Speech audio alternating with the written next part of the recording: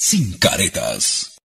Bien, este señor Jim Ayala, agradecerle a usted de una manera muy especial y también a todos los, los que nos escuchan.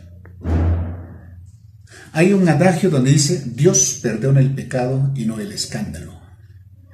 Lamentablemente, este proceso electoral en la universidad, que cada cinco años debe renovarse en nuestras autoridades universitarias, empieza con escándalo y no como debe ser, manejando propuestas e ideas que pensamos sobre la universidad.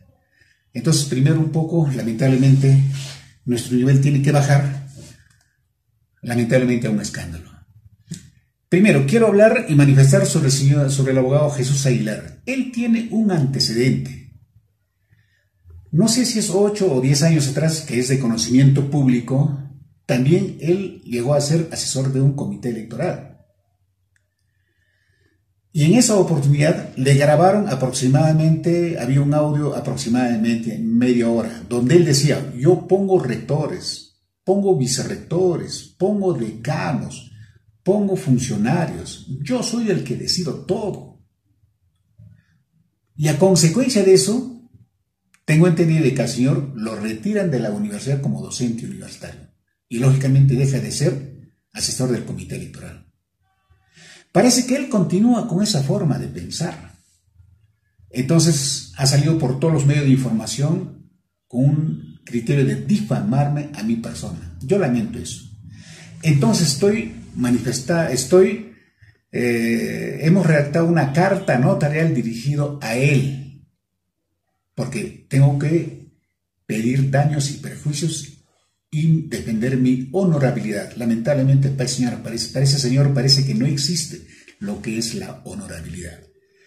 No, para ser un poco breve, quiero leer lo que él ha manifestado dentro de todo lo que ha hablado. Solamente quiero decir lo siguiente, que el candidato Ángel Núñez Mesa llega a la reunión correspondiente y empieza a inducir, a tratar de inducir al comité electoral, manejar el comité electoral para ayudar a cierta candidatura, eso no puede pasar. No podemos aceptar para llegar a un fraude y como esto no se puede y como esto no se puede estar. Y el señor periodista le responde.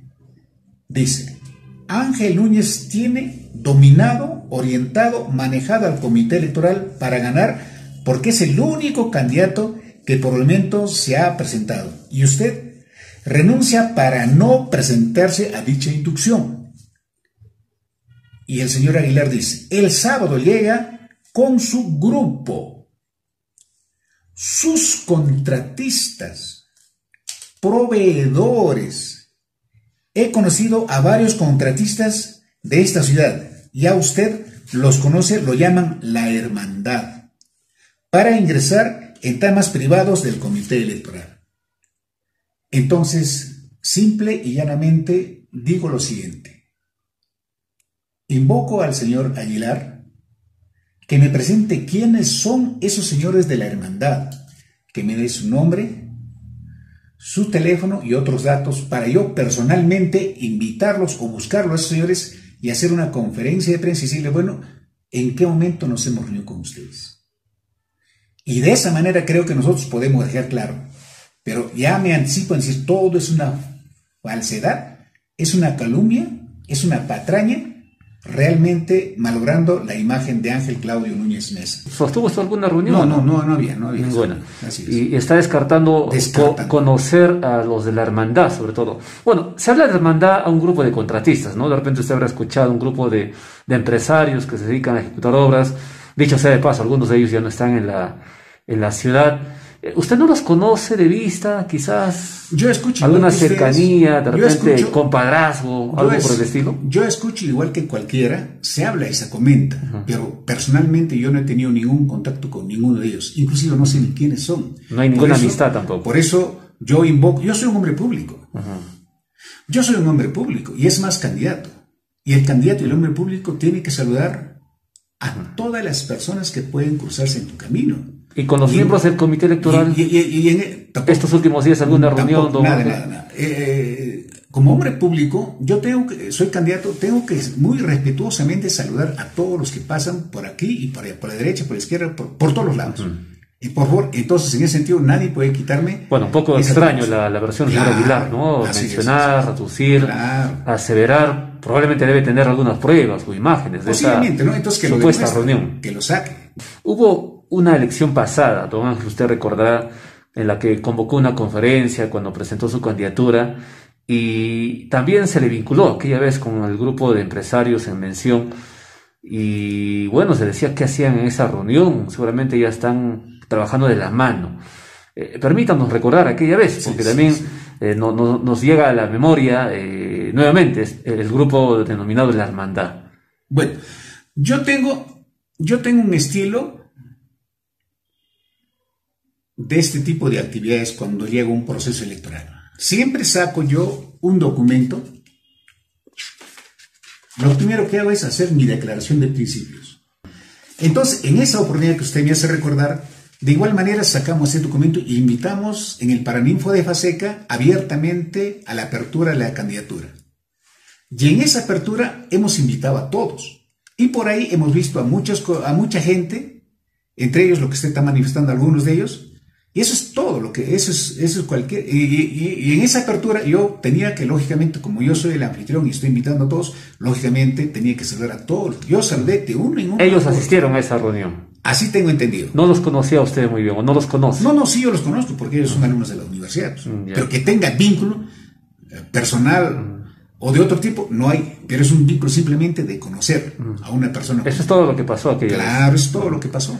Bueno, don, también se ha mencionado en algunos medios de comunicación un monto económico que llama la atención de 3 millones, parece que habría algo más inclusive, que aparentemente usted le estaría debiendo, imaginamos que la institución eh, académica de la Universidad Cardenina, no se ha especificado en sí, lamentablemente esa denuncia que lo vinculan a usted, pero usted recuerda o, de repente ya tomó conocimiento a qué se refieren, qué monto económico alguna vez usted manejó eh, que sobrepase los 3 millones de soles?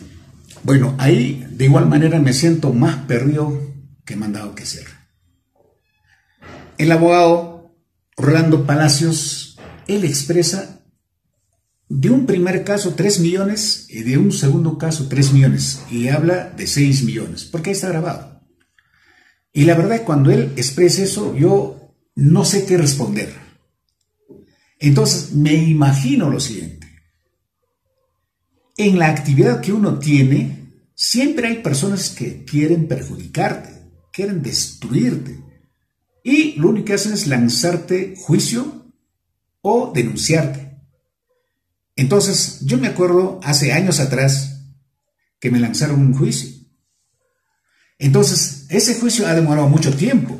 Entonces, pero estoy intentando responder, porque no tengo, me dicen, no sé qué, tal cosa cuando con, bien, si no, habla en el limbo y estoy tratando de entenderle. Mm.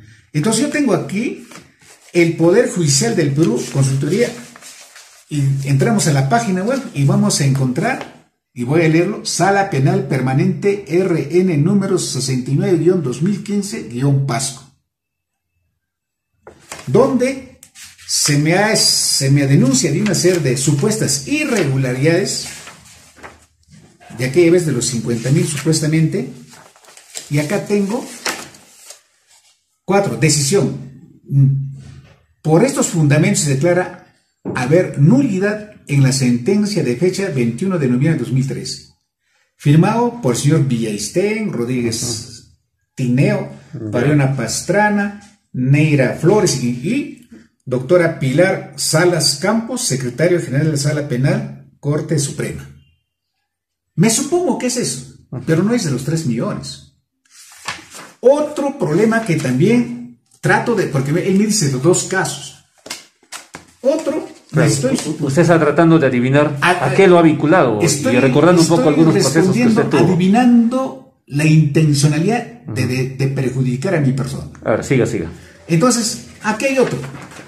Hay un, yo, eh, yo desarrollé un proyecto de investigación denominado, pero ¿qué dice acá? Auditoría de cumplimiento de la Universidad Nacional de Aníbal Carrión Pasco al proyecto de investigación, modelamiento y simulación sistémica para facilitar la evaluación del proceso de molienda y clasificación en planta concentradora. Órgano Constructor Junín, procedimiento administrativo sancionador, resolución 378-2018-006-G CG slash INS, me supongo que es Junín. ¿Dónde?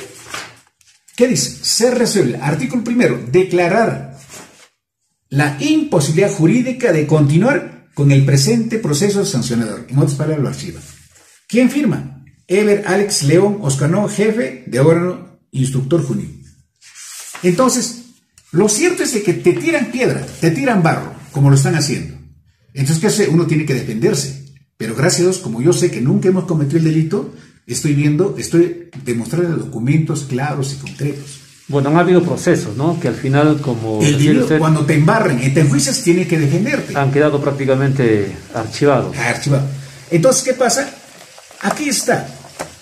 Yo agradezco al ingeniero Raúl Espinosa cuando fui ponente en Tecnomín, perdón, este, en, en Perumín, me regaló 3.000 ejemplares. Aquí está el proyecto. Pero no solamente eso, sino acá tengo el evento más grande. Perú es un país minero. Está entre las cuatro potencias del mundo. Está Australia, Canadá, este, Rusia y Perú. Este evento que se realiza cada dos años en Arequipa y en las dos oportunidades he tenido la oportunidad de asistir. Han publicado los ocho mejores proyectos del mundo. Acá dice Perú Min 34 Convención Minera. Bueno, acá un poco. Entonces, mira, yo tengo esa honrosa, honrosa satisfacción donde se ha publicado mi artículo. Y en esta publicación está inclusive en español e inglés. Entonces es un orgullo. Aquí están algo de 5 o 6 mejores proyectos de investigación del Perú. Para llegar a este evento, a mí no me ha evaluado cualquiera, me ha evaluado expertos. Expertos. Entonces tengo esa satisfacción. Aquí tengo ese primer slot. Pero no, no solo eso, sino tengo acá otro, el libro de ponencias y resúmenes, séptimo oh, Congreso Latinoamericano de Metalurgia desarrollado en la ciudad de Cusco también lo publica. Aquí está. Se lo puede ponchar. Entonces, eh, aquí están todos los. Bueno, entonces estoy demostrando, ahora no solo eso, sino como un comentario rápidamente, yo he tenido el privilegio de estar en Huancayo, en el Colegio de Ingenieros en varias oportunidades, en San Marcos y no sé dónde más, como ponente, exponiendo este proyecto de investigación.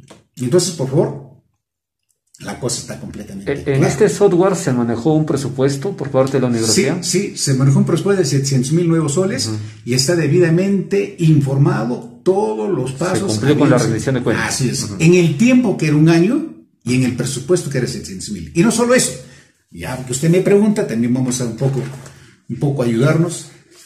El proyecto original era para este modelo de circuito. Para este modelo de circuito. Y nosotros hemos agregado un modelo más. En otras palabras, hemos hecho el 150% del proyecto que al inicio estaba establecido. También eso no se quiere entender ni se quiere eh, reconocer. La meta. Y ahí, justamente, pues el señor este, Yali, su asesor, permanentemente han estado acosando y son ellos los que hicieron la denuncia. Imagínate, en vez de apoyar, en vez de darnos un, agradecimiento, ellos han entrado con esa denuncia y estamos en ese, en ese camino. yo, recuerdo hablando de algunos cuestionamientos que, que, estamos mencionando ahora hacia su persona. En algún momento también usted fue director de admisión. Eh, se le cuestionaba, cosa curiosa, de los resultados que aquella vez eh, se habían emitido prácticamente al momento. Creo que después de una hora, un par de horas, se habían eh, publicado ya los resultados. Bueno, eh, mucha gente saludaba de que estos resultados no se publiquen pasadas muchas horas o en horas de la noche o inclusive al día siguiente.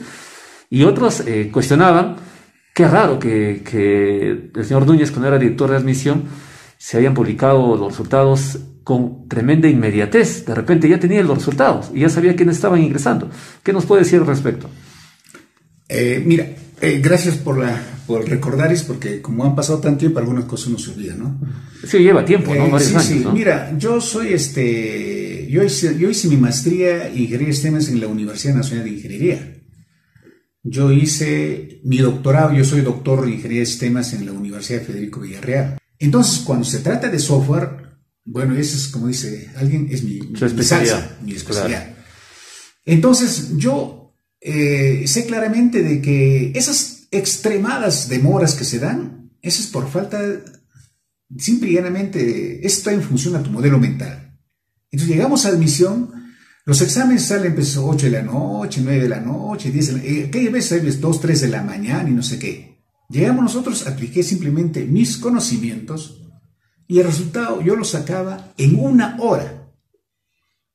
En una hora.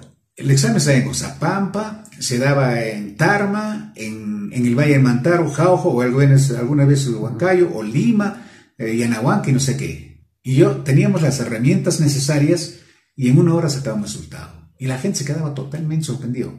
Y aquella vez inclusive no solamente publicábamos a través de un, de un, papel, diríamos, ¿no? de las, sino en Internet. Entonces, esto prácticamente para todo el mundo era una sorpresa. Y es justamente, en otro momento hablaremos, qué modelo de universidad pensamos. Y posiblemente, entonces, ¿qué pasa?